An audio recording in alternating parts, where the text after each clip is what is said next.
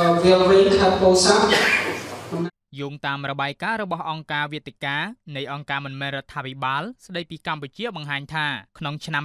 2013ដីសម្បត្តិសេដ្ឋកិច្ចចំនួន80ករណីបានធ្វើឲ្យប៉ះពាល់ដល់ប្រជាពលរដ្ឋជាង90000នាក់ជាក់ស្ដែងក្រុមហ៊ុនស្កសកោះកុងក្នុងខេត្តកោះកុងបានធ្វើឲ្យប៉ះពាល់ដល់ប្រជាពលរដ្ឋជាង400គ្រួសារនិងទំហំដីជាង1000ហិកតាហើយបានបណ្ដេញប្រជាពលរដ្ឋចេញទាំងបង្ខំដែលកើតមានឡើងតាំងពីឆ្នាំ2006រហូតមកដល់បច្ចុប្បន្ននេះមិនទាន់មានដំណោះស្រាយនោះទេ បានជួសឆាយដីនៅផ្ទះសម្បែងរបស់ពួកគាត់អញ្ចឹងអឺមកទល់បច្ចុប្បន្ននេះយើងក៏ត្រូវបានធ្វើការសុំការអន្តរាគមពីសំណាក់អាជ្ញាធរមូលដ្ឋានក៏ដូចជាក្រសួងស្ថាប័នពាក់ព័ន្ធមួយចំនួននៅទីក្រុងភ្នំពេញដែរតែមិនមានការដោះស្រាយឬក៏ដំណោះស្រាយណាមួយមកដល់ពួកយើងខ្ញុំដែលជាជាបរិបទដែលរងផលប៉ះពាល់ ក្រុមហ៊ុន KDC របស់លោកស្រីជាខេងនៅខេត្តកំពង់ឆ្នាំងមានវិវាទដីធ្លីជាមួយប្រជាពលរដ្ឋប្រមាណជាង100គ្រួសារតាំងពីឆ្នាំ2011ដែលមានទំហំដី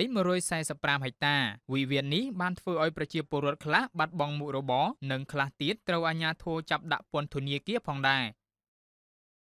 ចាក្រុមហ៊ុនបានឈូសឆាយផ្ទះរបស់ពួកខ្ញុំអស់14ក្នុងផ្ទះដល់មិនមានសំណងអ្វីសម្រាប់ពួកខ្ញុំតតែសោះសូម្បីតែស្រូវអង្គរបស់ពួកខ្ញុំក៏គេមិនឲ្យកើតដែរចាំបន្ទាប់ពីព្រឹត្តិការណ៍នោះគឺព្រឹត្តិការណ៍ថ្ងៃទី12ខែ8ពួកខ្ញុំបានធ្វើដំណើរមកភ្នំពេញចាត្រូវសមត្ថកិច្ចវាធ្វើបាបយ៉ាងចាស់ដៃចាសូម្បីតែបាយឆ្នាំងចានរបស់ពួកខ្ញុំក៏ត្រូវសមត្ថកិច្ចវាបំបីចោលមិនឲ្យពួកខ្ញុំបរិភោគផង តែទោះបីយ៉ាងណារបាយការណ៍នេះបង្ហាញផងដែរថាបើប្រៀបធៀបកំណើនវិវាទដីធ្លីកាលពី3ឆ្នាំកន្លងទៅគឺឆ្នាំ2013មានកម្រិតទាបជាងគេយោងតាមការវិភាគស្ថិតិរបស់របាយការណ៍នោះវិវាទដីធ្លីកើតឡើងថ្មីថ្មីនៅឆ្នាំ2010មាន39ករណីឆ្នាំ2011មាន39ករណីឆ្នាំ2012មាន49ករណីនិងឆ្នាំ2013មានតែ28ករណីប៉ុណ្ណោះ របាយការណ៍នេះបង្ហាញទៀតថាតាមការវិភាគស្រាវជ្រាវដោយផ្អែកលើវិធីសាស្ត្ររបស់ខ្លួនវិវាទដីធ្លីសរុបក្នុងឆ្នាំ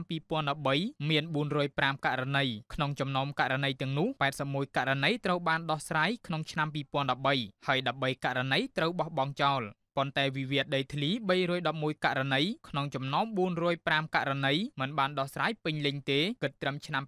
2013និងប្រជាពលរដ្ឋរងផលប៉ះពាល់មានចំនួន65867គ្រួសារដែលស្មើនឹង2.34%នៃចំនួនគ្រួសារសរុបទូទាំងប្រទេស